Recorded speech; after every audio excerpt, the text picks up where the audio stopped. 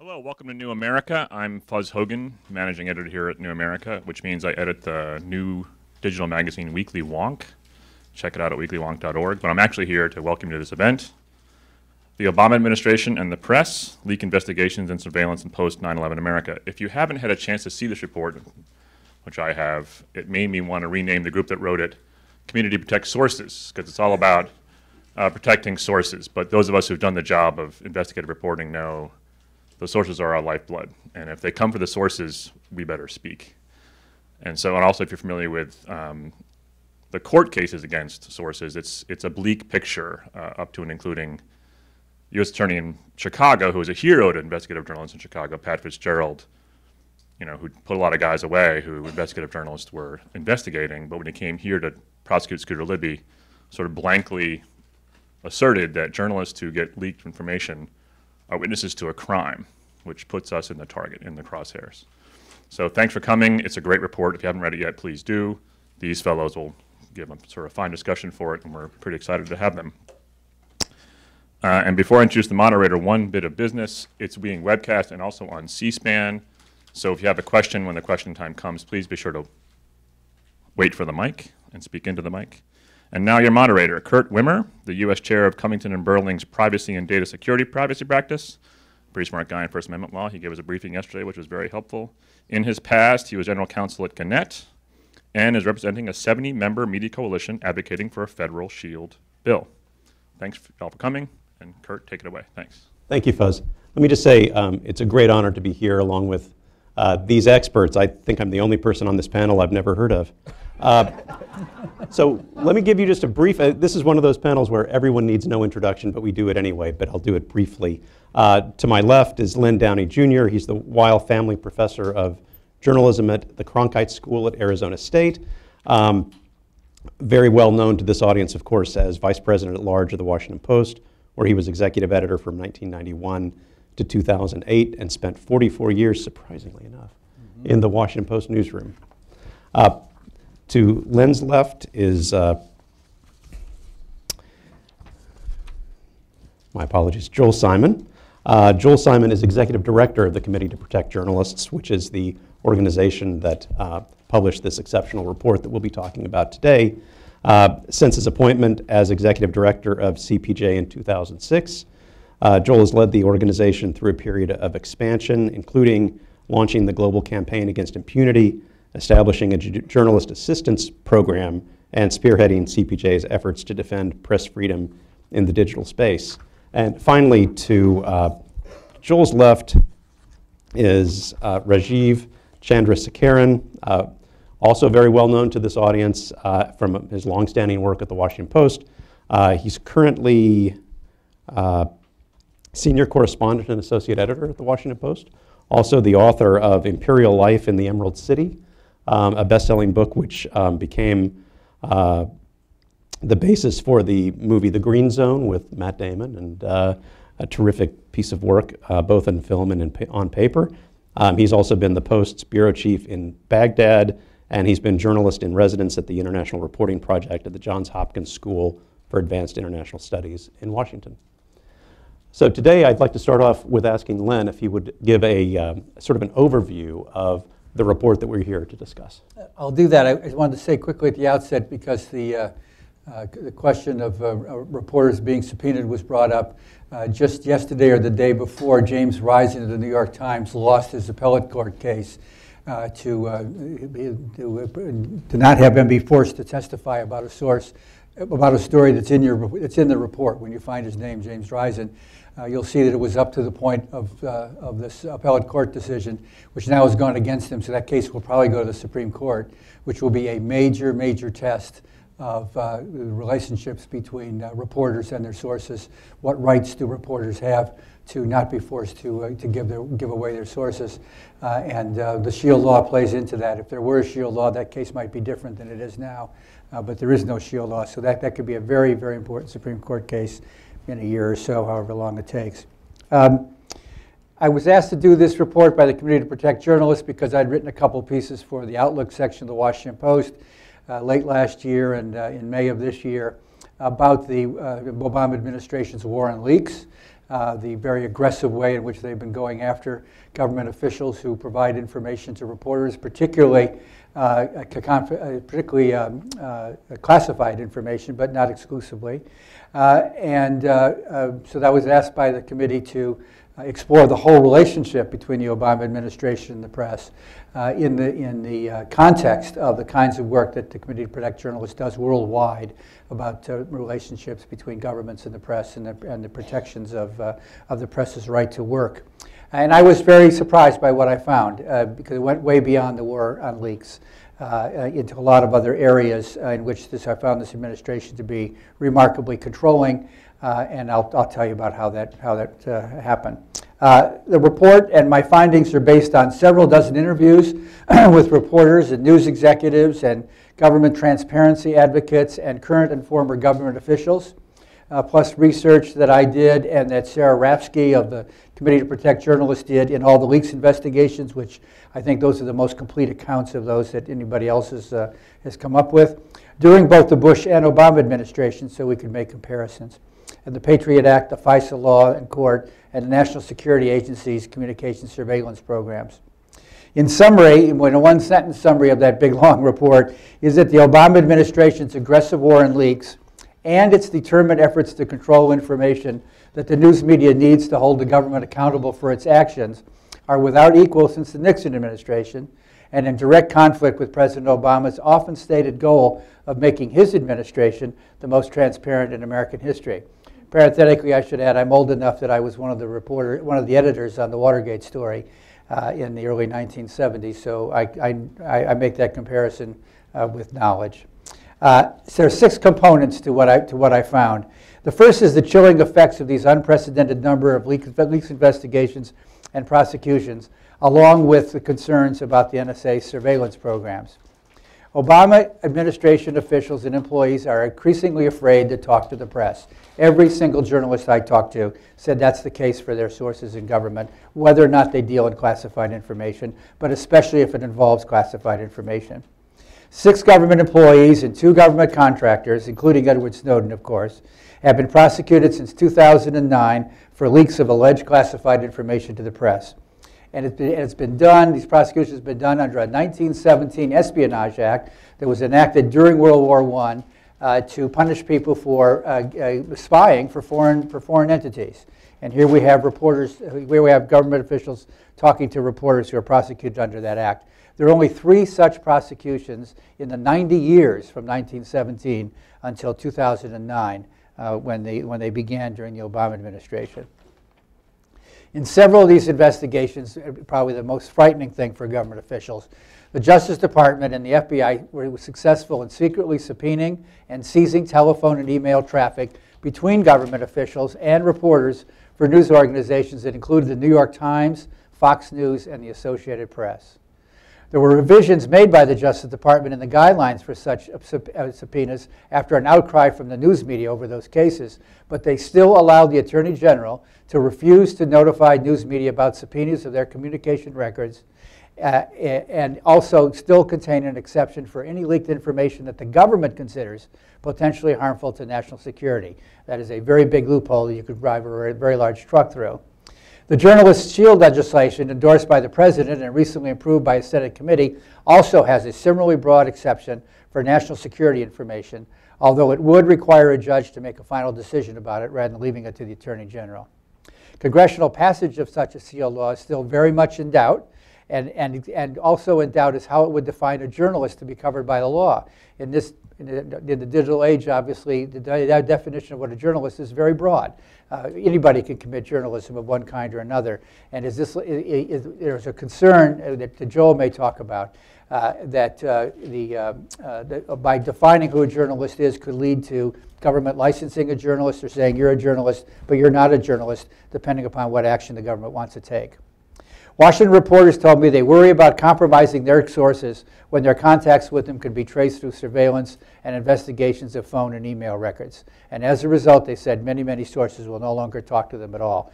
And we're not just talking about these eight investigations. There have been lots of other investigations that have not led to prosecutions in which there have been routinely been lie detector tests given to government officials who are suspected of talking with the press. And reporters naturally do not want to get their sources in trouble. Number two is the Insider Threat Program. In the aftermath of Private Manning's leaks of documents to WikiLeaks and the news media, President Obama ordered the establishment of a pervasive insider threat program throughout the government. Not many people know about this. Employees of all federal departments and agencies have been ordered to monitor and report, and I quote, any suspected insider threat activity, which includes communications with the press. Steven Aftergood, the director of the Project on Government Secrecy at the Federation of American Scientists, who's one of the leading government transparency advocates in Washington, told me that this has created internal surveillance, heightened the degree of paranoia in government, and made people conscious of contacts with the public, advocates, and the press. The third issue, the Obama administration's centralized message control. All, all incoming administrations want to try to control the message for political advantage, but senior administration officials of this administration Uh, uh, have uh, call uh, what they call unauthorized contacts with the, press, with the press are discouraged. Instead, they make clear that they and the president do not want any kinds of leaks to the news media, and not just those including classified information. Routine inquiries from reporters are most often referred to public affairs officials, who reporters have found to be unresponsive, hostile, and even abusive. If they fail to discourage stories that they don't, that they don't think they would like, they sometimes refuse to provide reporters public information that we all have a right to.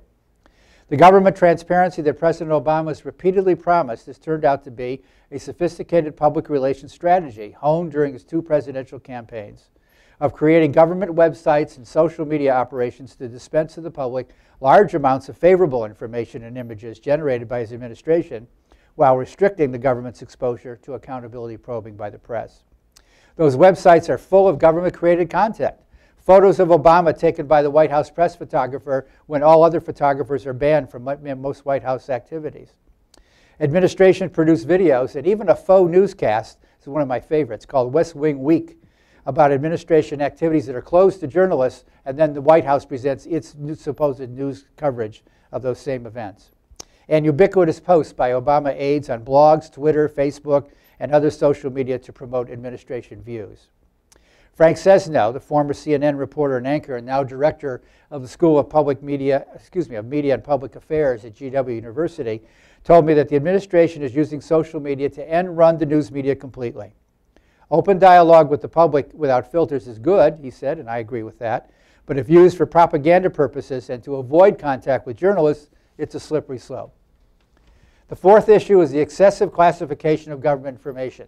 Part of the problem reporters have, they call somebody up to ask them a, a, a, a, normal, a routine question, expecting a routine answer, and it turns out the information is classified, even though there seems to be no good reason for it.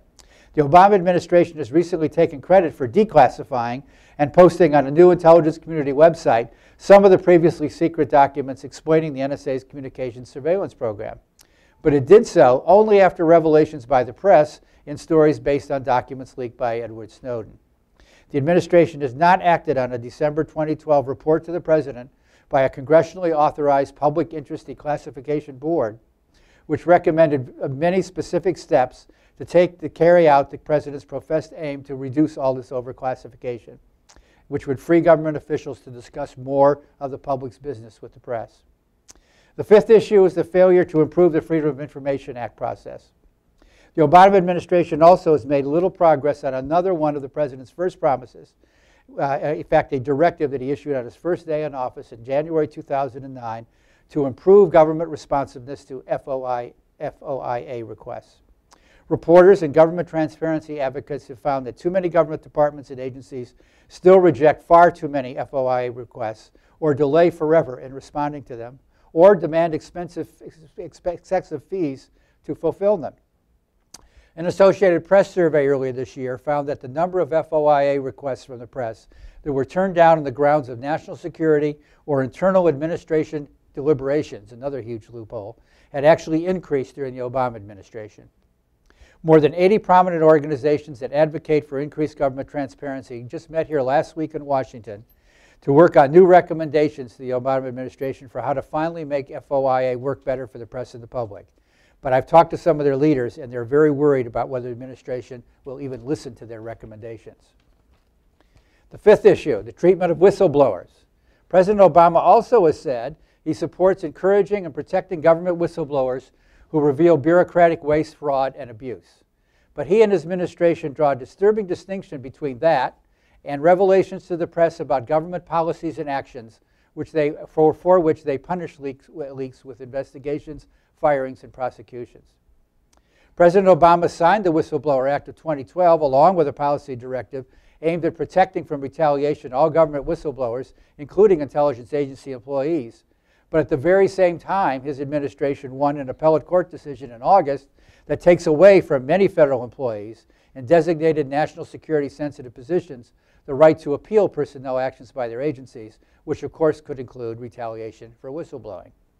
That and the prosecutions of some whistleblowers as spies under the 1917 Espionage Act for providing information to the press leaves the president's real position on whistleblowing very unclear to me. And lastly, the, inter the, international implications, which was of great interest, obviously, to the Committee to Protect Journalists.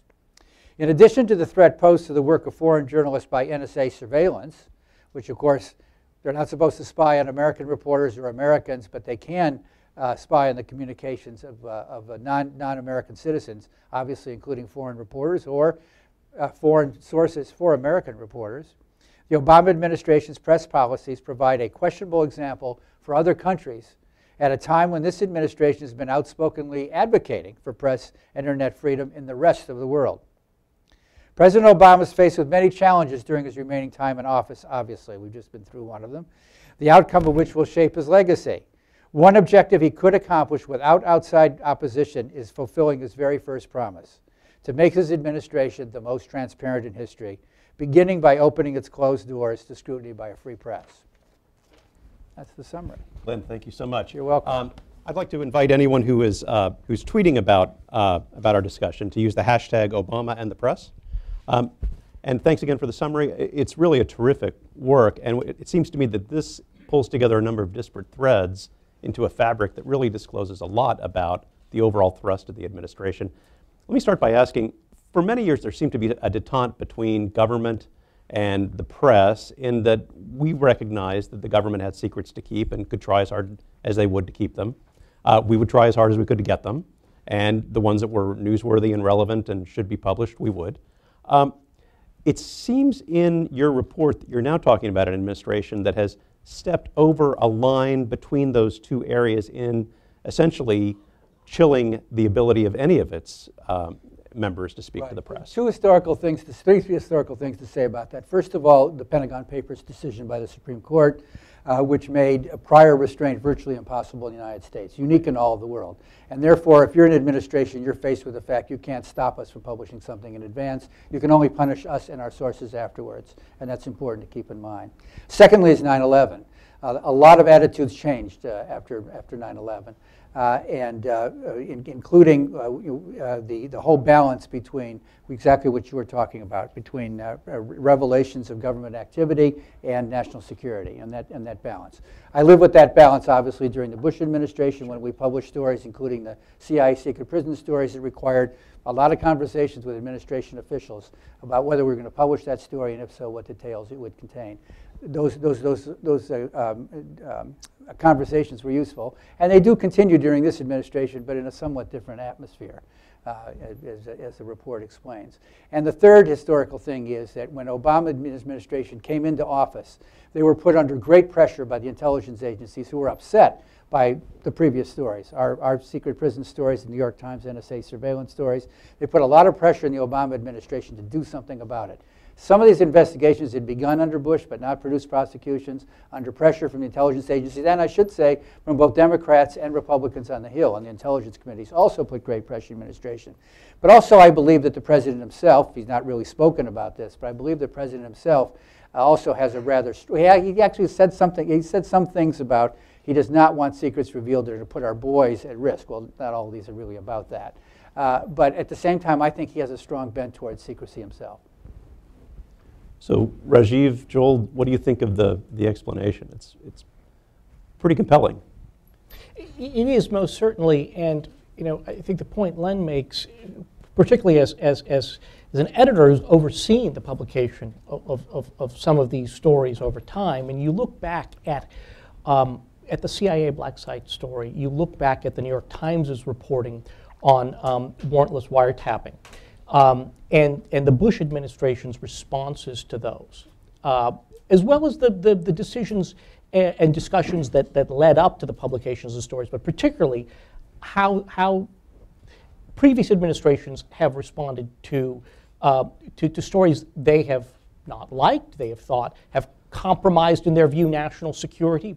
Um, and yet, uh, in, in most other cases, in previous administrations, there have been uh, expressions of, of, um, uh, of, of uh, uh, you know, disgust, if you will. Um, there have been perhaps some cursory investigations, but nothing of the sort that we're seeing now. And then when you look at some of the investigations that have taken place in recent years, um, and you compare them to some of the previous stories, it, it, seems like it's penny ante stuff. I mean, going after you know Tom Drake uh, at the NSA, uh, which you, you write about, or, or even, even the, the Risen case. In the grand scheme of things, those, uh, if you talk to national security experts, those stories uh, did, did not have a, a, a, a, a meaningful impact on American national security, and yet those are some of the cases that are being pursued or have been pursued in recent years with, with, with particular vigor. So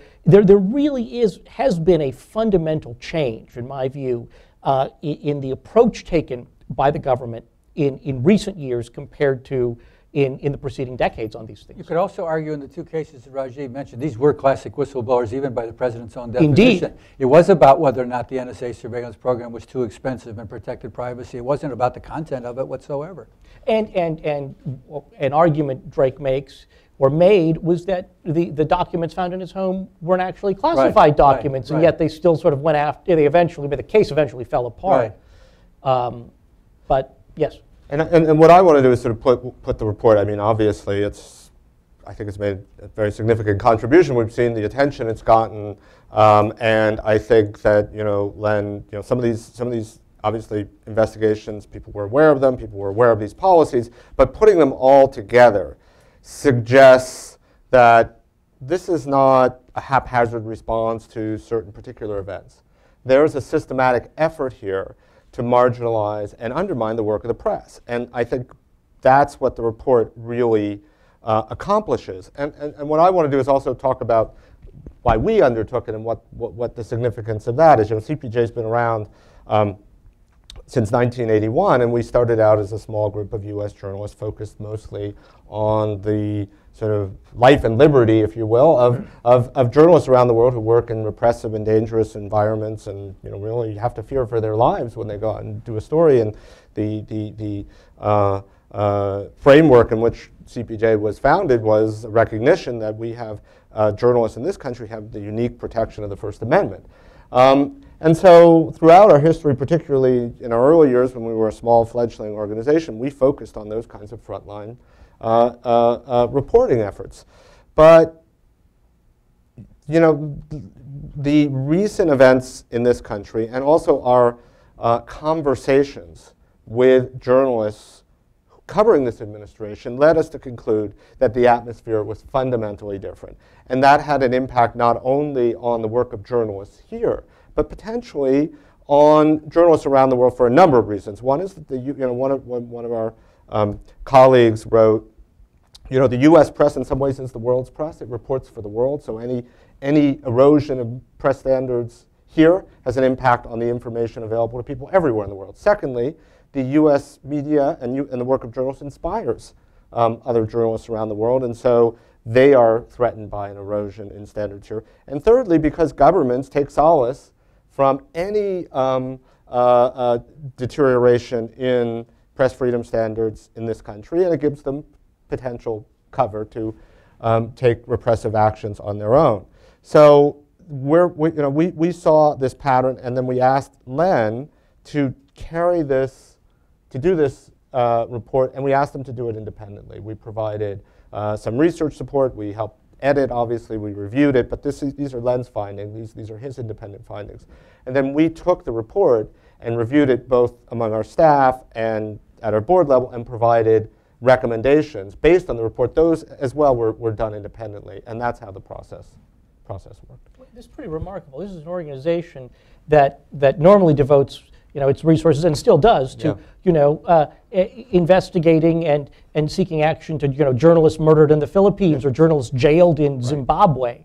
And for, for CPJ to, to want to devote resources to, to shining a light on these issues and to, to, to, to, to thoughtfully uh, uh, investigate them is, is a remarkable step for an international press freedom organization. It's really true. And you know, the Obama administration, as have many administrations before it, focuses a lot on trying to promote free expression Yeah, in other countries. Absolutely. Um, what do you think that these the, the types of issues that are cataloged here do to our credibility when it Well, I- moves into other countries? I, and I mean, I can think of a specific example. I mean, I remember we had been advocating for a very long time for, for, for President Obama to raise directly with Prime Minister Erdogan of Turkey concern about that country's press freedom record. Turkey is actually the world's leading jailer of journalists. They jail more journalists in Turkey than they jail in any uh, other country in the world. And uh, Turkey is a key strategic ally. They have a very uh, deep uh, relationship with the United States, a strategic relationship. Uh, President Obama and Prime Minister Erdogan have established a personal rapport, a friendship. And so we've been advocating for some time uh, that uh, President Obama intervene directly with Prime Minister Erdogan and raise concerns. Well, they had a bilateral meeting back in May. And the, I think the day before that meeting took place, news about the seizure of the AP phone records broke. Now, I don't know whether it was on the agenda for that discussion. I had early indications that it might be, but I'm reasonably confident it did not come up. Because um, if President Obama had raised that, I think that he would have been very exposed. I mean, the same sort of thing happens with the uh, NSA uh, uh, surveillance and uh, uh, the, the um, uh, stated policy that uh, President Obama had articulated that he was going to be more aggressive in challenging China on its government orchestrated hacking surveillance program, whatever you want to call it. Um, I don't hear that so much anymore. I don't hear that so much anymore. Become I a don't bit thi- difficult to read. I don't, Sure. I don't think that's a coincidence. I should add that, uh, I don't know how many of you here work for the government or did work for the government. Uh, it- it- it- The leaks investigations, uh, the constant pressure to stop leaks of any kind, not just national security leaks, the constant pressure to not talk to reporters at all, but instead refer them to public affairs officers who then discourage the reporters from even writing stories, and then just the presence of the NSA surveillance, which so far there are no examples of American uh, uh, sources or reporters having been spied on through the through the, the uh, this, this communication surveillance process. But its very existence, all those things combined, uh, have this tremendous chilling effect on government officials talking to the press. Since the report comes out, I've been stopped by reporters in the Washington Post newsroom when I visited, for example, who said, "Oh, I wish you'd talk to me too. I've got like 12 other examples." As it was, the keep CPJ people said, "Don't keep quoting Post people in your report." But I mean, th- this is their daily life. Their daily life is trying to get government officials to talk to them who are afraid to talk to them. That's not the way it should be. And there certainly does seem to be uh, a link between the NSA program, the other sorts of uh, government surveillance issues that have come up, and reporters not feeling comfortable in sending an email to a government source. Uh, let me ask uh, the Post had an exceptional story a few weeks ago about the effect of these leak investigations on the whistleblowers. And it was it really sort of cataloged how going up against the, the mechanisms of the United States government as one person can destroy lives, even for, even for those for whom the prosecution fell apart and they've been fine. Uh, do you think that some of these early prosecutions that didn't seem pointed toward true national security information that would damage the United States were really done to make a point and to say, this is what can happen to you, so don't talk to anyone? we don't know about that motivation in terms of the Justice Department, but we do know, because they said so, that the intelligence community was looking for that. Uh, a previous uh, director of national intelligence at the beginning of the administration uh, told the New York Times on the record uh, that uh, this, this, was, this was his intention to get the Justice Department to prosecute some people so it would have a chilling effect on the others. Could we talk a little bit about the, uh, the insider threat program? Because I thought your discussion of that was exceptional. and it, you can imagine how um, the government would have some sort of a program after the disclosure that Chelsea Manning had taken the scope of documents that she had, um, just to sort of get your arms around how documents are being handled. Right. It seems to have become something quite different. Oh, I've got that. Right. It, uh, uh, it, yes, it, it, it's uh, the original presidential directive uh, that set up the study that then produced the Insider Threat Program, which they started rolling out late last year, uh, did emphasize the national security aspects of it. But then it was left up to each individual agency to decide how to carry it out. And uh, the, uh, the, uh, one of the news bureaus here in Washington, the McClatchy News Bureau, uh, did a very good job of surveying various government agencies to see what, how they were carrying this out. Uh, and a number of them made, made clear that any kind of leaking to the press was the same as giving something to China. Uh, and, and also that you're supposed to be monitoring your fellow employees. This is a kind of 1984 thing.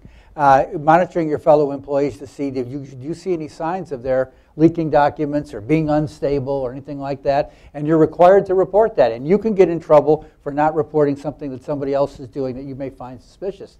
Again, that's, uh, I- that's I think, unprecedented in American history. And it- since it's just now being rolled out, we don't know what its effect is, but it has to be further chilling. Interesting. and it seems to have a, a chilling impact already on just day-to-day routine business.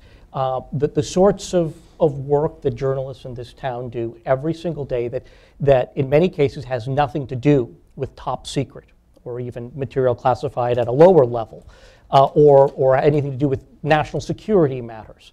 Um, the, the, the, simply calling up a, a, an official in this administration, in, in the White House or in a cabinet agency, um, and, and wanting to have a discussion about a subject that perhaps a senior official has spoken about publicly the day before, whatnot, um, is the sort of thing that, that now uh, routinely, commonly, uh, government uh, employees will, will refuse to engage, not just on the record, but even in many cases on background. Like, I can't even speak to you on background until it's cleared by the press office.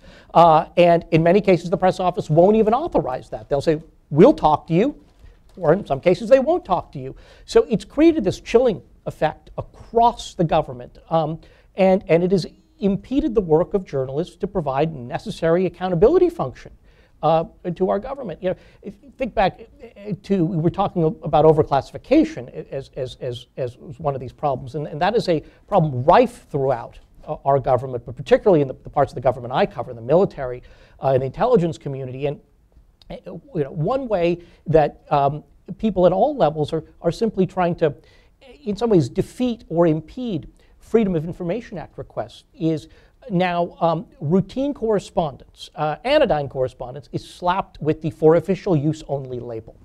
Um, and so when you're trying to get a document, it may not be classified. Uh, and even if it is classified, in many cases it's not even all that all that sensitive. But they'll say, "Oh, we can't release it. It's, it's for official use only." And and what I want to do is bring that press person to my office, show them my inbox, and show them hundreds of emails from military officers, all stamped for official use only, saying, "You know, would you like to come to this lunch with General Odierno next week for official use only?" Um, and, and because they're set, their their their their email systems are all set to that as a default. So again, it's intended to, in, part, impede the ability of people making uh, legitimate FOIA requests of government. And you know, all this also comes back to, you know, there's, there's a, it's all about selective enforcement. And there, there, there is a, uh, there was a, there was a, a, a piece uh, just uh, reported uh, uh, the other day off of you know, the, the, the Senate Intelligence Committee um, getting uh, uh, in wake of, of the, the, the, the administration's rules on, on, on reporting uh, uh, the disclosures of sensitive information, that uh, distinguishing between what is an authorized leak and what is an unauthorized leak. And you know, how many times in any given day do senior officials sit and share material that is classified or that is um, otherwise sensitive but serves their own purposes for which there is no sanction. I mean, I, I've been in the presence of numerous military senior officers who were showing me classified slides, but because it is serving the military's purposes, it's serving the administration's arguments, and so they, they're willing to trot that stuff out when it is helpful to them. But When they don't like it, of course, different rules. This is all about government accountability. The president has said repeatedly that he believes in government accountability, that the press has a role in holding the government accountable. But these kinds of distinctions are exactly that. They don't allow the government to be held accountable. The administration gets out its story, its message, and you're impeded from reporting other things that would hold them accountable. It did seem to me that the report is, is almost like a, it's the tale of two scenarios. One is the national security scenario, Yes. and the other, as you've described, is the day-to-day business of government that it's Right. difficult to report on. Um, I was struck both by your quote and by Ann Compton's quote that this was the most difficult um, administration to cover of the seven that she has covered. Yes. Which really is saying quite a lot. Yes, things that were routine in other administrations, uh, access to uh, beginnings and endings of meetings in the White House, just who's attending those meetings, just what the subject of the meeting is, uh, are, are now off limits and are impossible to find out unless you go to the White House website. Another, a, a British uh, television uh, news director here in Washington said that whenever he calls the White House to ask for something, they simply say, go to this website and see what we put up on the website. That's what you can have. You can have that video, you can have those photographs, you can have that information. We're not talking to you.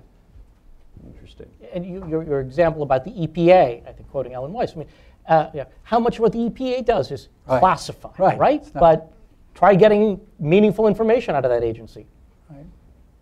I also found that um, something that really did alarm journalists about the, the Jim Rosen case, and we've had both the James Risen and James Right. Rosen cases Yeah. in, Yeah, in yeah. short order, but the, about the Rosen case was the, uh, the use of the term, uh, you know, co- potential co-conspirator under the Espionage Act Yes. for, as you pointed out, activities that really are basic journalism. Right. It, it was a, there was a technical legal reason for doing that, but it still was very, very alarming. And while the administration repeatedly says, and says in the new Justice Department guidelines, we're not going to prosecute a journalist just for doing their job of reporting, again, that's their definition, not ours. Uh, and so it's still it's frightening to reporters. That, uh, I, there are reporters who particularly work in the national security area who are worried about being vulnerable themselves still uh, to investigation and prosecution, who are taking extraordinary measures, encryption of emails, although we now know that NSA is trying to solve that riddle as well, encryption of emails, uh, secret, uh, secret rooms where they do their work, and so on, which, uh, which, you know, which, which is uh, quite amazing. I, I also should point out that in the Jim Risen case, uh, the, uh, the decision by the appellate court judge for the majority that said he still has to testify or go to jail, also said that what, this crime could not have been committed without him. In other words, they're still treating him as a criminal as well. So is this something that you see in terms of um, uh, the, the, the types of news gathering techniques that have to be used? Are we sort of going back to meeting Deep Throat in the basement of the Arlington parking garage and not using these electronic tools that have been so useful in the past decade? You know, I, I joke that, that th- th- this is forcing me to go back to being a lot more low tech. Um, you know, a lot more face to face interviews, a lot more notes taken, you know, ink on paper. I know I much, you know, uh, only for, you know, completely, you know, routine, not very sensitive stuff. And even in that case, I'm not doing a whole lot of, you know, typing and putting stuff up on the cloud. I'm not keeping my most sensitive contacts, you know, on my iPhone or in any sort of electronic space. Um, and you know, I, I- I have colleagues who go even further, you know, working on machines that have no, you know, internet connection, working in in um, in rooms that are sort of the journalist equivalent of a of a SCIF, a secure compartmentalized intelligence facility, um, to to prevent. Uh, uh, outsiders from from trying to identify sources and this is all look, there's nothing that, that I'm, I'm working on, and I think for many of my colleagues, that, you know, if, if, if the government uh, were to, to learn, you know, the substance of the story that I'm, I'm, I'm building, that's fine. What I'm worried about is protecting the sources. I'm worried about, about, you know, keeping people who are cooperating with me from, you know, getting hauled in front of an, uh, you know, to court and, and into jail for, um, uh, in, in, in almost every case what is a, uh, a legitimate, well-founded reason for communicating. These are not people who are you know, seeking to, to, you know, burn down the government house. These are not people engaging in wholesale theft of information. These are people talking about specific issues in a narrow, uh, circumscribed way uh, because they either want to, they believe policy is fundamentally flawed, they believe that, that there is a injustice that needs to be addressed, Um, you know, we, we lose sight of this when we focus so much on, on, uh, on Manning or on Snowden. Um, the, the, the, the, lion's share of these cases don't involve individuals uh, taking uh, volumes, reams of documents, and then you know, sharing them with the world. It is, it is more often uh, an individual wanting to share a, a, a, a specific piece of information because they believe that there is a compelling public interest in doing so. They're not doing this because they want to make money. They're not doing this because they want to aid the enemy. They're doing it because they want to help the United States. And, and I would just add, you know, just from, a, from an international perspective, as Len pointed out, if you're a journalist outside the United States, if you're a non-U.S. person, you have no legal protection from NSA uh, intervention in your communication. We know, or we we don't know, but it's certainly uh, been been reported based on Snowden leaks. Uh, Der Spiegel did a piece that the NSA hacked into the internal email of Al Jazeera. Um, now, you may argue Al Jazeera is a special case, but nevertheless, they did feel that this was uh, uh, within their uh, prerogative to do this. I've talked to editors, for example, the editor of the Guardian, uh, the U.S. editor, was talking about, um, you know, she's uh, uh, does not communicate using email with, with her reporters. You know, just that, that does, does not feel secure doing that. Um, and you know, lots of journalists that I talk to outside the United States are taking extraordinary measures to to ensure that they can communicate uh, securely. And I think there's a real question. I mean, one of the most essential um, things that you know elements of, of, of, certainly public accountability journalism is depends on the, the ability of the journalist to be able to protect the identity of their confidential source. Right. And a lot of journalists just don't feel they can make that promise. And, and, in this environment. and journalists care about that, which Yeah. is people don't often, it was great to hear Rajiv talk about Yeah. that, because people don't often realize how much journalists do care about the welfare of their sources. Yeah, very true. Uh, also, from the international perspective, Yeah. uh, it's been interesting to me to learn that many other countries have stronger protections for uh, journalists in terms of uh, not, ha- not requiring them to testify in court Yeah. cases, for example, uh, than even we have on the state side, where we do have protection uh, in most of our states. Yeah, we're not. We're definitely. The U.S. is definitely. I mean, we obviously we have the First Amendment and the most, um, uh, probably the world's most uh, uh, uh, uh protected environment in terms of what you can say. You can absolutely say just about anything. Uh, but in terms of protection against um, um, being subpoenaed. Um, there are many other countries in the world that have stronger protections for journalists. We're, we're the U.S. is definitely not a, a, a, leader in that regard. And at this point, there is no federal protection in Right. federal cases. It's Right. only state by state, which, and they vary some state by state. But if you're subject to a federal investigation, your source is subject to a federal investigation. There is no, there's not yet any, uh, any shield law.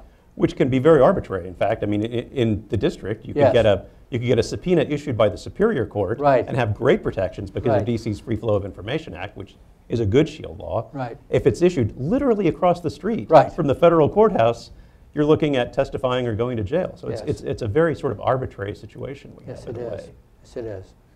And even though the Justice Department guidelines have been greatly strengthened, and there are a lot of technical changes made in them that please media lawyers, Right. you still generally still have this uh, intent involved because there's enough of a- leeway there for the Attorney General's decision-making and the national security exemption that they can still, by and large, do what they want to do. Well, and at the end of the day, guidelines are in fact guidelines. Guidelines, Uh, they can be they can be followed or they cannot be followed, Yes. and it's not enforceable by the reporter. You can't say to a court, "This subpoena needs to be quashed because Correct. they didn't follow the guidelines." And so, you know, having a shield law, it seems to me, would be a step forward.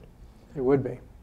Uh, why don't we talk about that for a moment? Sure. Uh, I know, Joel, you've, you've had concerns about the definition of journalist, for Right, example, right. in a shield law, which Right. is something that um, is one of the reasons why we've never had a federal shield law, is because it's, it's, it's difficult to define and it's become more difficult in the past 10 years. Well, I look at this from an international perspective. I mean, I don't look at this strictly from a U.S. perspective, and I look at this in the context of you know how radically technology has changed the way that journalism is conducted. And you know, I think that there's a there's a, there's a very pragmatic argument, which is that journalists can't do their work if they can't protect their sources, and a shield law will help them do that. And a shield law will probably help you know, most journalists who work for um, um, tradition, who are carrying out traditional journalism, except for the national security exemption, which is a separate matter. But in terms of CPJ's constituency, in this country, but even more so globally, not all journalists will be covered.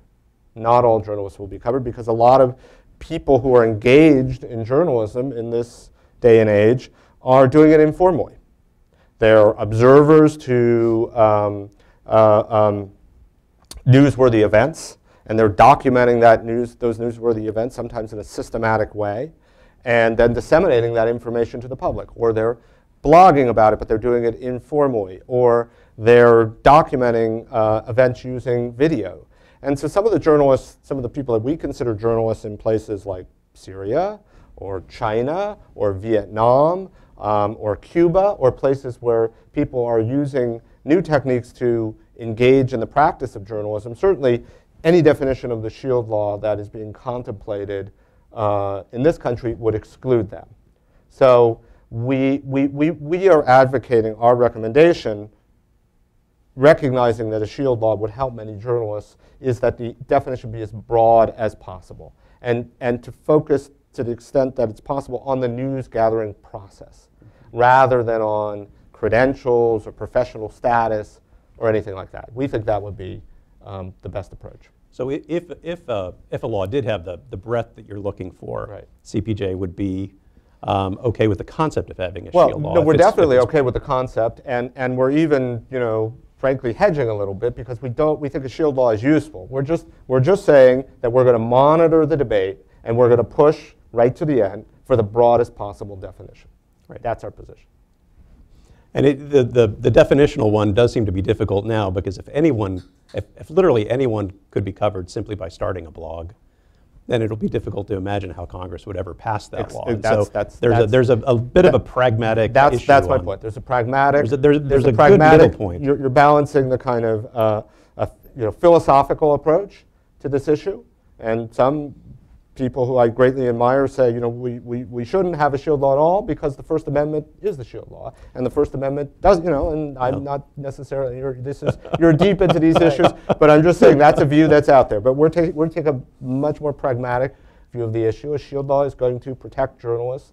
We want journalists to be able to do their, their work, but we also would like to see the broadest possible definition. I think at one point we did have a hope that the First Amendment would be enough, but Jim Risen's case sort of demonstrates that Yeah. unfortunately it isn't.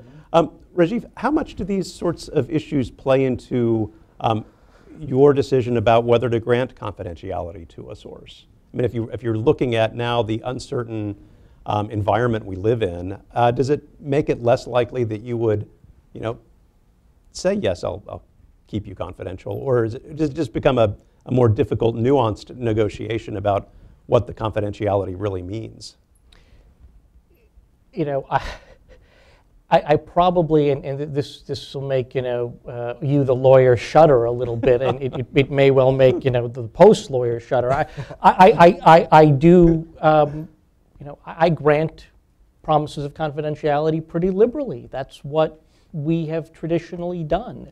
Um, now, uh, we, if anything, the, the, the pressure against it um, over the past you know, 10 plus years, maybe even longer than that, and this is one Len would know well, um, has been less traditionally in, in our newsroom about the threat of prosecution, but more in terms of the desire for transparency with our readers, wanting people to know as much as possible at who is providing that information. Um, and, and in some ways, this is a, response to uh, government officials often wanting to speak about routine matters on background as a senior administration official as opposed to coming out there with name attached.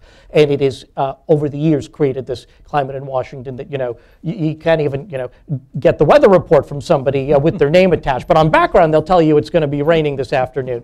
Um, and so our pushback has been sort of against that. Now, uh, enter in now this this uh, this this new threat of of uh, not just threat, the reality of of of uh, investigations and prosecutions, particularly in in the world that I cover. Um, it certainly has come up in discussions with sources, um, you know, and and uh, when it when it does come up on sensitive matters, you know, it's something that, that we talk out, and we and uh, but when I make an explicit promise of confidentiality, it is just that, and, and I will honor that. Um, it's it's uh, you know, it's not a written agreement, but it is it is part of what I see as my professional oath. Um, uh, but but but even getting to that point, you know, requires um, requires jumping through a lot of hoops that you know we didn't have to before. It's, it's you know it's the old face-to-face meeting. It's not you know it, it's not these these deals are not struck over email or phone calls. Um, and Put the it- plant on the balcony if we need to meet. yeah, not, not quite as convoluted as that, um, but, but, but certainly adding a, a lot more, um, you know, a lot more complications. Um, you know, in fact, uh, you know, the, a lot more, you know, meetings of, with people uh, uh, at their homes or in, in, you know, in coffee shops or bars as opposed to in, in offices, um, uh, you know, communicating with people with their, their personal email addresses, not their government ones, because of the insider threat program. It's not, it's not just the, the NSA that's the worry, it's that in every, any agency, right, their systems techs are, are going through as part of the insider Right, threat program, you know, looking at, you know, what emails were exchanged with, you know, the washpost.com and nytimes.com's domains, um, and you know, were any of those, em- you know, messages coming from people who were not in the public affairs shop? And if not, let's flag them for, for further scrutiny. Uh, That that stuff is happening routinely. Yeah, there's also, there two other elements, very important elements here for the reader, for the audience, and that, those are accuracy and credibility. Uh, If you can't talk to the people that really know what's going on, uh, you're liable to find other sources on background who have access to grind and so on, who will tell you things, and you'll make mistakes, and we've seen that happen increasingly in national security reporting and law enforcement reporting. Uh, when the authoritative people won't talk, somebody else will, and, uh, and, and that's, that, that can create accuracy problems, and it can create a credibility problem for the medium involved.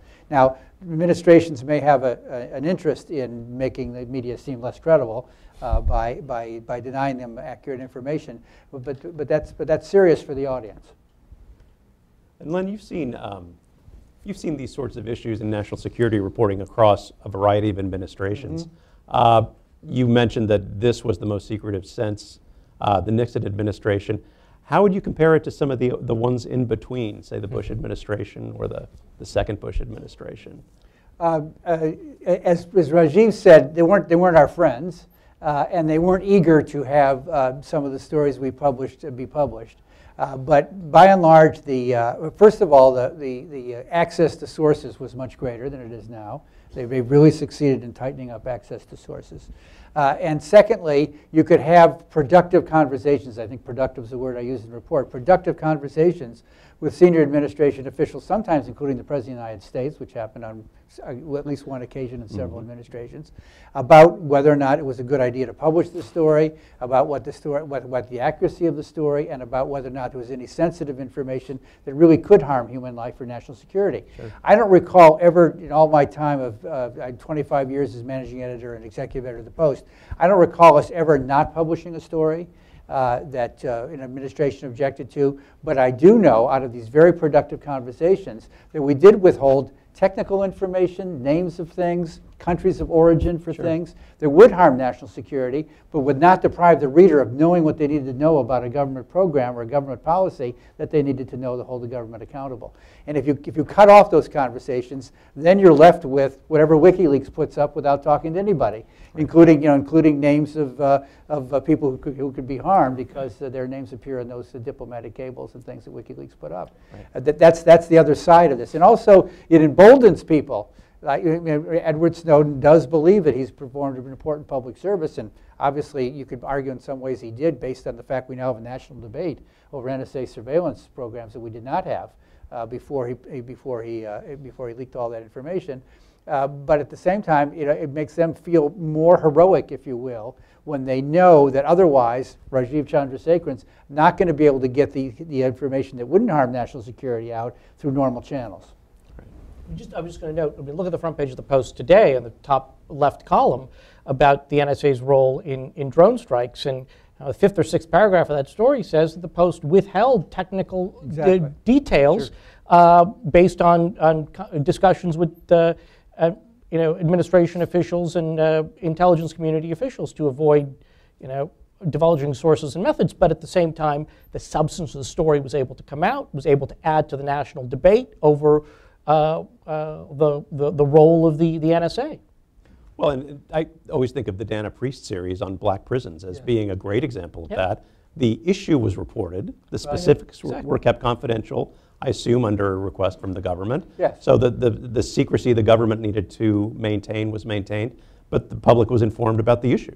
That, that's a good example to cite. First of all, it was not a leak like an Edward Snowden leak. This was based on a long period of reporting by Dana in discovering that certain officials that she knew in the intelligence community were worried about something. Well, what were they worried about? Well, she would find a little bit from you, take it over to him, find a little bit more, take it over to him, then come back to you for some more. It was, re- it was reporting. It was not a leak Right. as such. Uh, and, and she was able to do that kind of reporting. She was able to have enough access for that kind of reporting that we were able to put the whole picture together, including the fact that there was a lot of other uh, counter, counter uh, terrorism uh, uh, cooperation going on with the Eastern European countries where these secret black sites were located. That when the administration said, please don't name those countries, we knew why they were asking. And we could, we could reason about, okay, then we don't want to have this other cooperation cut off. So therefore, we published the stories, and, the, and the, the, only, the, the only effect of them was, at least it's been shown so far to me by the intelligence community, was that they had to close those black sites, bring those prisoners to Guantanamo, which doesn't appear to harm national security at all. Uh, but at the same time, we've never named those Eastern European countries, even though they've been bandied about, there have been investigations by the EU to name them and so on. We've kept our promise not to name them.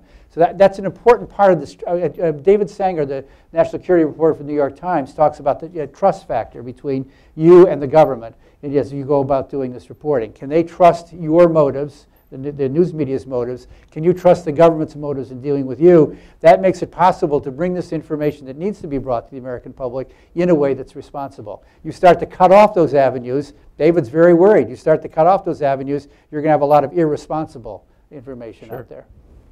Len's point about Dana's story on the black sites is, is, is incredibly important. I think there's a perception out there that national security reporters sit around in their offices and wait for the phone to ring and somebody sort of go, here, here's your leak today. uh, it doesn't work that way. There's a little bit of shoe leather involved. If, if only, if only. I mean, I, and I think, I think, you know, Snowden is the exception, not the Right. Right, rule. And people think, oh, you know, hey, get the thumb drive with all this stuff.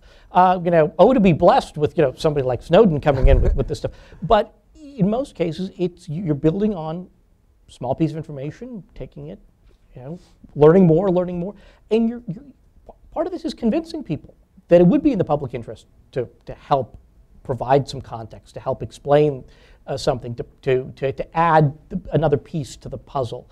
Um, and so you know, it would be wrong to think that, that all these, these individuals are just sort of there ready to kind of hand the stuff out. Uh, it often is, is the result of a, of a, of a thoughtful discussion and, and, and sources understanding what a journalist is trying to do and, and seeing what they're doing as being in the public interest. Coming back to you know, point I made earlier, I, mean, I really do believe that for the, the, the vast majority of those people who the administration would call leakers, these are people who are acting out of, out of a, a- a sense of, of, of, of altruism, out of a sense of, of, a, of a belief in our system, and a- out of a desire to want to make the United States a, a, a better country. Um, it, it's not anarchistic behavior, even though uh, one could point perhaps to some of the higher profile recent cases and say, uh, and, and try, try to use labels like that. I think that that obscures the reality of, of what is happening in, in the lion's share of these interactions between journalists and sources. You do see a strong thread of patriotism through many of the sources that you're describing, Yes. certainly. Uh, And, and then if they're, if they're investigated, persecuted, fired, prosecuted for it, uh, that, uh, that um, they, they then wonder if their patriotism was misplaced. Right, right. I was struck by um, something you reported about David Sanger from the New York Times Mm-hmm. that uh, there was a, an email sent out for, or a memo sent out Yes. from the White House to intelligence agencies saying, please retain any emails to David Sanger. Right, And within the White House itself, yeah, right. I, I would say that would pretty much dry up your sources. Yes, it would. And, and it, as he said, people called him, he would call somebody up and to ask them a question, they'd say, David, we love you, but we just can't talk to you right now. Let's wait till this all blows over. They know he's a responsible reporter, they know how intelligent he is, they know they would handle information carefully, but they just can't talk to him. Yeah. I was also struck by uh, an anecdote in the report about someone from the government calling you to apologize for a subpoena they hadn't told you about. Yes. I wonder if you could recount that for us. Right. Well, this was quite some time ago, uh, and uh, when uh, Mueller was the FBI director, and uh, we had corresponded uh, in uh, Southeast Asia. Uh, and uh, so did, I think, the New York Times, right, in the same place. There was an investigation going on that had nothing to do with, uh, with the stories that we were pu- publishing from there, uh, but, uh, or didn't have that much to do with it. But, it, it- but the fact that they had contacts uh, with, uh, with people that were being investigated by the FBI. Uh, and without complete violation of the Justice Department guidelines, uh, they secretly subpoenaed and seized their phone records. Uh, and it was discovered by the FBI afterwards, as in the previous administration, during the Bush administration. And uh, Mueller called, my, uh, call up, called me and the editor of the New York Times, and first of all revealed that this had happened, which we didn't know, and then apologized for it because it was, it was outside the Justice Department guidelines he regarded as being wrong. People, people were dis- disciplined for it, uh, and, uh, and th- I thought that was a, the proper way to handle it. It's been a pretty extraordinary story.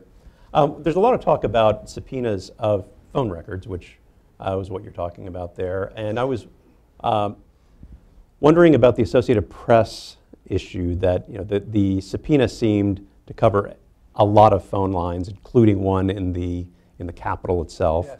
Um, did you have a sense that um, that was narrowed, or that if, if a judge had been involved, there may have been a different result than tapping up to 100 journalists Yeah, and, and they did it without notifying the AP in advance. Again, in my experience uh, before this administration, quite often, if the Justice Department was contemplating a subpoena in a, in a criminal investigation or in a civil case, uh, they, or, or some other way in which they wanted to demand something from us, uh, they would call up and say, we're contemplating this, and we would have a negotiation. And usually we were able to satisfy their law enforcement needs and our protection of our reporting uh, techniques uh, uh, needs uh, and work something out. Sometimes it took lots of negotiations, painful negotiations, but it would work out. In this case, they didn't notify the AP in advance. If they had, the AP would have said, "Oh, you do a hundred different reporters, you know, four. It wasn't just phone lines; it was uh, it was switchboards, four switchboards, and the phone and the AP phone in the Capitol. Why do you need that?" Uh, and uh, let's, let's narrow it down. We don't want to cooperate with you at all. We don't want our reporter source discovered. But let's narrow down what you're doing here because you're exposing all of our reporting to scrutiny by the government. Uh, and we don't think that's a good idea. And then if they couldn't have worked something out, they probably would have gone to court. And that's, of course, what the government didn't want. Even though the investigation by that time was years old, uh, they, they, just, they just didn't want to take the trouble to do that. So, that's that, that, so they, they, they, they proceeded in a way in which there was no way to negotiate, no way to go to a court and have a court decide whether or not this is a good idea. Well, you've all been very patient, uh, and so I thought this would be a good, a good moment to turn uh, to the audience for questions. Um, let's see, I've got some in the back, and then we'll move up front. I'm going to take host prerogative here. Uh, uh, you, in the report, you quote Bob Schieffer saying it's gotten worse every administration. Yes. Right. It seems to track with sort of the development of media itself. Yes. That way back when there were so few channels for an administration to get their own message out, they sort of needed the Post and the Times. So the posture of the administration was sort of had to be cooperative. But now between echo chamber media and their ability, as you mentioned, to get their word out themselves, Right. they no longer you no longer have that leverage as an institution to sort of force that posture on them. So the question is, are you optimistic there's any other way to regain that leverage to re, to change their posture to be more cooperative, or is it sort of an inexorable curve down? Yeah, I think it's inexorable unless they're confronted with it, unless the public's confronted with it, and unless the, they're, you know, an appeal to their better angels. This is why I assume Joel asked me to do this report. Uh, is they're, they're going to go to the administration with their recommendations for improvements. This is a president who promised to have the most transparent administration in history.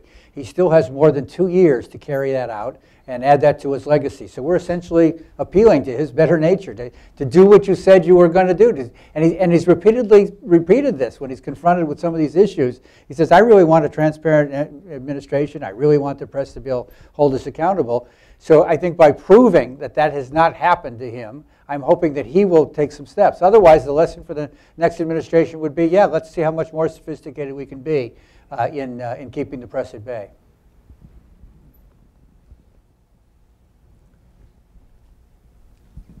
Thank Making you. Our way to the front. Uh, Thank you for bringing out this very important information, Mr. Downie.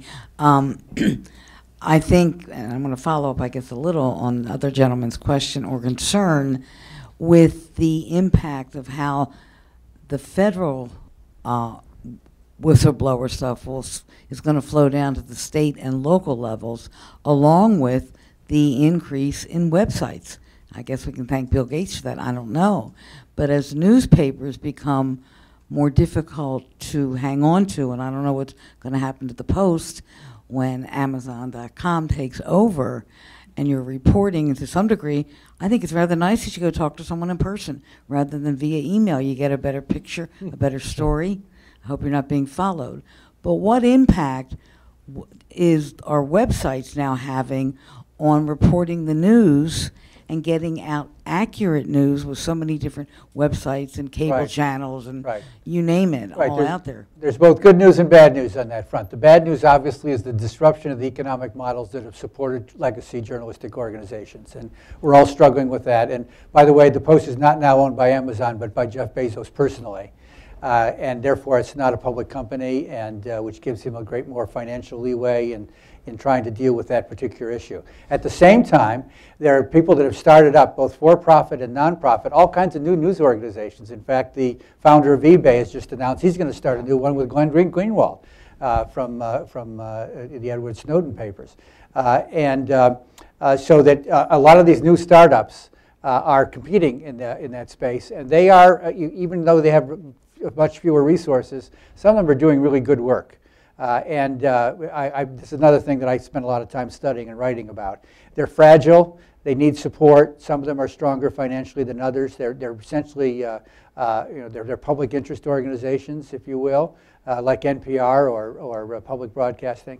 Uh, and so uh, their, their, their, their future, in, of individual one's future are, are in doubt, but as an aggregate, they're going to be there. And then that's, that's very helpful, I think, to, uh, and they also collaborate with traditional news organizations. So the New York Times, the Washington Post, other newspapers around the country have published a number of things pr- uh, provided them by, non, by nonprofit investigative reporting sites uh, which is very useful. To come back to the first part of your question with states, yeah, so some states are, one of these nonprofits is uh, called Wisconsin Watch in Madison, Wisconsin, and the state legislature try to legislate them out of existence because they're, are, uh, uh, uh, they- their, offices are inside the University of Wisconsin, and some of the uh, people who run it are on the University of Wisconsin faculty. So somebody sneaked into, nobody's owned up to it yet, sneaked into the state budget a prohibition against state funds or university funds being used to work with them at all. It finally, after a big uproar, was vetoed by the governor, but it does show that, uh, yeah, individual states are trying to uh, get, get involved in, in managing the news as well. How long do you think it'll take the shield law to pass? How long, I mean, the shield law. I The think is expert's sitting important. next to me. Oh, is that him? Oh, what's holding it up? Why aren't you moving ahead with It's this? actually, it's, the, the movement on the Senate side has been good so far. We were past the Senate Judiciary Committee. We just need to get to the floor of the Senate. And the Senate's got a lot going on, of course. So it's, it's, it's, been, it's been a little bit difficult to get their attention on this one. But you know, we're optimistic that we should be able to get to the floor of the Senate, um, if not before the end of this year and early next year. We, there is a House bill that's been introduced by Representative Ted Poe um, and uh, Representative John Conyers that is moving ahead as well. I think there'll have to be hearings on that one, so it may take a little longer. But you know, we've we've had some success in the past. We passed the House twice um, in 2007, 2009. Um, so we're, we're optimistic. Uh, it, it actually is bipartisan, and in you know for many years our greatest champion uh, was Representative Mike Pence, um, Republican from Indiana, who basically said, "Look, I'm not doing this because I love the media. In fact, sometimes I don't like you guys, but I really believe in protecting whistleblowers." Because It's a constitutional issue, so many conservatives see it as a constitutional issue, as they should. Can I just go back and, and build upon uh, some of Len's answers on, on these past two questions? Um, and I, I don't, I don't want you to, to shudder here, but, but there is. You're doing there- your best. Well, look, the, there, there is a defense to be, to be made of, of, of, of a group that everybody, at least in, in part of the political spectrum, loves to hate, which is the mainstream media. Um, yes, there is a proliferation of new news websites at the state, local, and even at the, at the national level, uh, new ventures here and there, uh, citizen journalists, and, and all of that is to be applauded. But when you look at these cases, the, the, the, you, New York Times, Washington Post, Siobhan Gorman Drake, Wall Street Journal, Fox. News. oh, They're part of the mainstream media. Uh, Right. Don't, don't listen to what they have to how they brand themselves. They are they are they are mainstream and large. Uh, it's because these are organizations that have, at least for the moment, deep enough pockets so they can sustain the sort of investigative journalism uh, that th- this is not the leaks flowing in. This is often the result of a lot of hard work. It's, it's stuff that takes time. Um, it, ta- it takes takes money. And- Expertise? Yes. And so um, this, while I think, yes, this, pro- that, that these issues do pose a, th- a threat to, to, to journalists writ large, uh, what we've seen thus far, and in my humble opinion, you know, I think the, the, the principal kind of threat still going forward is to, you know, the, the, the largest news organizations out there, those that can, that, that really devote resources to covering national security matters and such. Um, and so, um, eh, and, and, you know, the flip side of it for, for the administration, uh, any administration should be the track record of these large organizations. You know, I'd like to think, and I, I know I have friends in the military and the intelligence community that, that, that laugh when I say this, saying, you know, who put you guys in charge of determining what the public should know? But, you know, um, when, when, when presented with um, uh, sensitive uh, material, particularly of national security nature, uh, the, the, the ma- mainstream news organizations have almost always undertaken a thoughtful examination of, of how to publish, when to publish, what to publish. I mean, these were the issues Len agonized with uh, time and time again as executive editor of the Washington Post. Um, and even when provided with the entire WikiLeaks trove, we didn't go and put it all online. We used it as a basis for journalism and then going out and asking people. Washington Post through Bart Gellman in the receipt of material from Edward Snowden. Again, the raw documents aren't just being pasted up willy nilly out there, they're being used to, to, to, to engage in journalism, and, and, and, and portions of it are being put up there To do reporting based on them that only with somebody with the expertise of Bart and several other reporters Yes. at the Post can handle that way, too. Oh, and just on overclassification, I, I, I can't let this event go without noting. You know, I love to. s- you know, I guess it was the Guardian, and then then eventually the Post. Um, was it last week or the week before? Um, had the stories about you know, the NSA trying to, to, to crack this this Tor system, and and among the slides that were, um, uh, were revealed, uh, I I think in the Guardian report was this uh, this NSA deck about you know what Tor is and how to defeat it. You know, all classified. You know, top secret, no foreign. Um, and, and two of those slides were actually material that the NSA essentially stole from the Electronic Frontier Foundation, their own descriptions of Tor. They slapped it in, you know, the frame of a NSA PowerPoint and then slapped, you know, top secret, no foreign on it. Um, and, and so, again, there are, in these own documents, there are legitimate questions. People talk about overclassification. There are legitimate questions to be asked about Uh, that. Among the thousands of pages of documents that uh, Chelsea Manning gave to uh, WikiLeaks were uh, thousands of newspaper stories uh, in various foreign countries that were then classified as secret when they were sent on to Washington. It's just crazy. This- Where's our microphone? Okay. Why don't we go here and then here? Thank you. Uh, In any kind of um, federal shield, shield law, you're probably going to get national security exceptions. So in that particular field, is it really going to help you? I mean, maybe you'll get prior notice, maybe you'll get judicial involvement, but how much is it going to contribute in the national security field? I don't see a shield law as, as, as fundamentally changing the game for national security reporting. There, it's an, it's an issue of both prosecutorial discretion, but really it is, it is uh, a- an issue of, of how an administration at, its, at senior most levels chooses to address these issues and whether um, it wants to create a sort of chilling effect across the, uh, the Defense Department and the intelligence community, or whether it believes that in our system and for our system to be healthy, yeah, every now and again you might get something on the front page of the Post or the Times or some other uh, newspaper that you won't really like, but, but our country is, is, is strong enough, resilient enough to move on from it, and, um, and that uh, though some of those disclosures actually uh, help uh, to, to, to stimulate the national debate. And that, you know, look, the reality of it is that while uh, the administration likes to talk about, you know, Congress playing a great oversight role, if, if, you know, if there's a, among the key takeaways from, from the Snowden affair thus far is that, uh, you know, Congress really wasn't doing a whole lot of oversight over the NSA.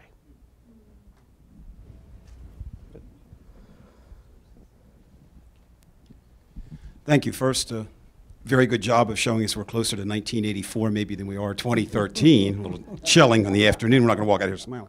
My question is this, though. We have President Obama, and Len, you kind of alluded to this. I think maybe a very secretive person just in his personal life, but he's mm-hmm. president, okay? And now he's head of an administration which is, which is very secret. But how much of that, to anyone who's, who's looked at it, how much of that is him leading and how much of that is him following? In other words, post 9 11 and post what the security feel. And it doesn't matter in the end result, I understand that. The only reason that question would matter is for those of us who feel that it is wrong and needs to change it, we first need to know where to focus that change on. So is it more in the general belief of, you know, directors and that type of thing? Or do you think it's coming directly from the White House? Or just where would you assign, you know, you're doing a pie chart. Where does it fall? Yeah, I, you know, the derivation, uh, it appears to me, comes from a combination of those factors, the post 9/11 world, uh, pressure from the intelligence community and, and both parties, uh, particularly in 2012 when the president was running for reelection, Mm-hmm. and the Republicans would treat every leak as though he was doing he was doing the leaking in order to get reelected, and so the response was to conduct investigations, whether they should have been conducted or not. But the, the second part of your question is what, what can you do about it? He has the power to do it. He has the power. He, he issued those directives. He has the power to see that those directives are actually fulfilled, and they haven't been yet. So he, he can do it. This gentleman across the aisle. Microphone. Oh, thank you. Uh, I'm Jim Byrne. I'm the original editor of Tax Notes magazine. We played a central role in wiping out Nixon on his income taxes back there when he, a crooked lawyer of his, uh, faked a gift of his vice presidential Right. papers to the, what you call it, the Washington Post played a major role in that. Ronald Kessler. But the, uh, the hero of it all was a leaker. It was Mm-hmm. the IRS employee at Martinsburg, West Virginia, who mailed his tax returns to the Providence Journal. Right. Who helped get him caught eventually. But uh, the, um, uh, so I have somewhat of uh, historical background in that leaking business. But my real question is, how, where do things stand on these pieces of legislation you talk about uh, on, on, on uh, the Shield laws on the issue of the definition of who's a journalist? I mean, I favor the most broad definition possible. Where are those things? Where are those things? Well, uh, I'm, I'm with you in terms of a broad definition. The problem is if, if it's so broad that it catches everyone, then you're giving a privilege to everyone in the U.S., which is something the Congress wouldn't pass. Uh, the way that it's set up now, there, it's essentially a three-tiered definition. Um, it started off as a one-paragraph definition, and as it, it became longer and longer as the process went on. But the idea was to catch more, uh, more people who are really committing journalism. So the, the first test is the straightforward one that you tend to see in state shield laws. Uh, are you, uh, do you work for, have a contract with, or an agent for um, an entity that publishes uh, a news website, a, mobile app, a newspaper, TV station? And it's, it's quite broad. So I think most bloggers who have an entity, uh, when you think of blogs like Talking Points Memo um, or others, Matt Drudge, they'd be covered under that, along with the Washington Post, and the New York Times. There's a second um, definition says, okay, if you don't fall into that bucket, you can be covered if you have engaged in journalism in the past. And that's one that was pointed out in the report. If you um, worked as a journalist for one of these entities for one year in the past 20 years or contributed significantly to um, a product as a freelancer in the past five years, you can be covered. Then there's a third bucket that says, okay, even if you're not covered under one and two, if the judge decides in the interests of justice that you should be covered, you will be. So that's the way that the, the, uh, the Senate bill has that structure. The House bill is a much more straightforward structure that basically says if you're um, engaging in the journal, in journalistic activities uh, for financial livelihood, you're covered. Uh, that's something that has been a little bit controversial in the past because you have people who are doing it for nonprofits, and we need to find a way to cover them too. Uh, but the, the three, the sort of three bucket structure is in the Senate bill, and we think that's the one that'll end up on the floor. Yes. Oh, and I should have I should have said this before, but please say your affiliation as well, since we're on C-SPAN. I, I'm Mark Cebulski. I, I'm with a, I created a LLC called Great Teaching, but I, I have a master's in journalism. I used to be a, a columnist in a small newspaper. Um, now that you, this report has been rolled out, and it is a very important report, I believe. I mean, how far have we come since the Pen- Pentagon Papers? Some some distance. Um, what are your plans to roll this out in terms of connecting directly with the public? It seems to me that the the true test of whether this is going to reverberate into the White House and back is how the public is going to react to it, because there is a national security issue that is lingering, as it says, since 2001, and I think it, you're to you may get some pushback against that. So how are we going to know how this is going to resonate with the public? Well, I mean, first of all, we've been very pleased that it has resonated. I mean, it's gotten trem- a tremendous amount of attention, more than we expected uh, in the media itself. I mean, that's natural, but we're seeing a lot of interest on social media, for example, and a lot of discussion and a lot of engagement. That is great. That is really what we were hoping for. And in terms of our strategy, if you go to the last page, we have our recommendations. And as I mentioned, those recommendations were developed uh, by the CPJ staff and the board of directors in consultation with lots of other groups. We sent the report and the recommendations to the president, and in that um, letter in which we sent the recommendations, we also asked um, for a meeting with our board, and we are going to be following up on that request. And we actually hope to have some sort of face-to-face dialogue about these issues with uh, senior figures in the administration. Um, and we're not, obviously, we're not the only group that's out there that's working on these issues. Um, and so we're, you know, looking where we can to build coalitions, build awareness. And, and you know, one of the things I said when we, when we, when we had um, the press conference is that I think that the challenge is that the administration doesn't see this as a problem or they haven't seen it as a problem. They saw the little flare up when there was a where there was a very considerable outcry after the confiscation of the AP phone records, and they sort of feel, well, we've addressed that with the new Justice Department guidelines. Well, what this report is saying is, you're wrong. This is a problem. It's a very significant problem. It has to do with your legacy. It has to do with the kind of government that this country has and deserves. Um, and, and we are seeing a response from the public as a whole. So, you know, that's the strategy. You're right that the, uh, the, overli- the overlying challenge is the national security environment. That's true here. It's true in many other countries around the world. Um, and, and we're willing to engage um, with um, the government on that issue, with the administration. We know they have very significant challenges. But national security in this country or any other country can never be used as a pretext to give the government authority to prevent people from getting the information they need. And that's what we're, that's what we're going to push back with. And I'm talking about it to the media regularly. There have been lots and lots of appearances of various kinds, and it's been well covered in the news media. And look, this is also an administration that, that wants the American people to, well, let me put it differently. Uh, the president has, has, has said explicitly to the American people that the tide of war is receding. He said, We are entering a different period now than we have been in in the immediate aftermath of the 9 11 attacks. So, if you uh, accept or not that, that perhaps the standards are different uh, in a time of, of outright war or in the immediate aftermath of, of, a nation getting attacked the way it did in 2001, um, this is a president who said, look, we are entering a different period. So, um, should not the way the administration addresses some of these matters also evolve. Joel, could you uh, say a few words about the administration's reaction to the report? Because there has been a little bit. There's been a little bit of a reaction. They basically uh, issued a statement uh, reaffirming you know, what they said to Len, that you know, we're committed to transparency and this is the most intra- transparent administration. That to me suggests that they're still very defensive.